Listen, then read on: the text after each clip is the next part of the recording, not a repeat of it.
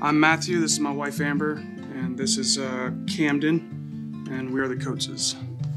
So we are the Guy family.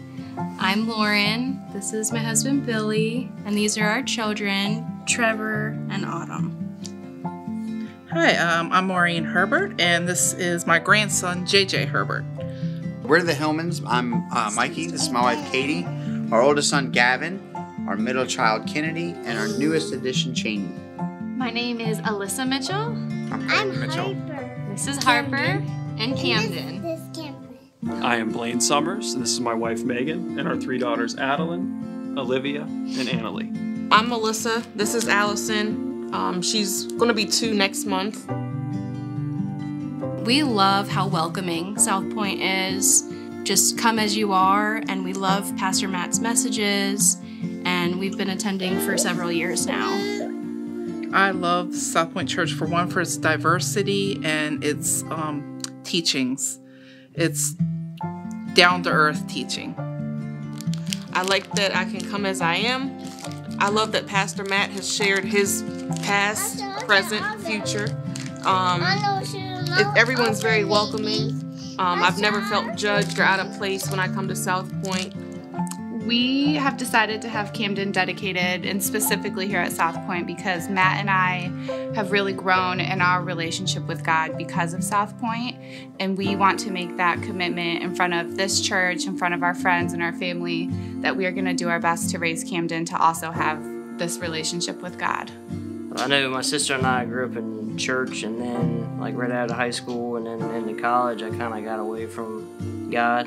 And then just recently, probably the last, I don't know, five or six years or something, I've, you know, got- grown, grown closer to God. So um, I'm glad to be with uh, South Point, and I want to pass that on to my children.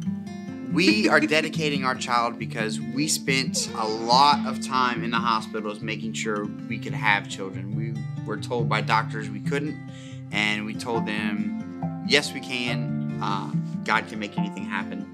And we said that if we were allowed to have kids, that that we would make sure we give them back to God because He gave them to us.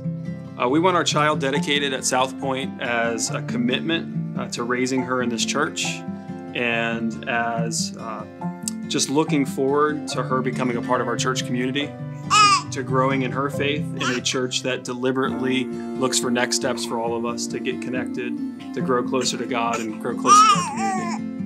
I want them to just start the journey of developing their relationship with God. I was sort of a, a latecomer to it, and um, I've just found it more, especially once I had them. So I just really want them to experience it from an early age. Um, I want to have her dedicated so that she can grow up, um, learn who Christ is, have a relationship, whether it's you know spiritual or um, mental or however it may be with the Lord.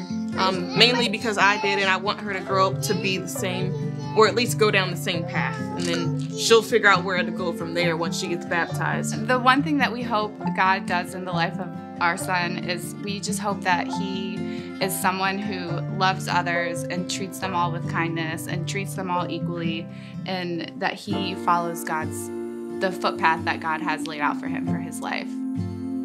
I hope JJ knows to turn to Jesus for, you know, any anything that goes on in his life and he knows that that, that God is the answer. And he grows to be a strong, dedicated man of God. It starts with the sage. we hope that God uses Cheney to um, touch other people.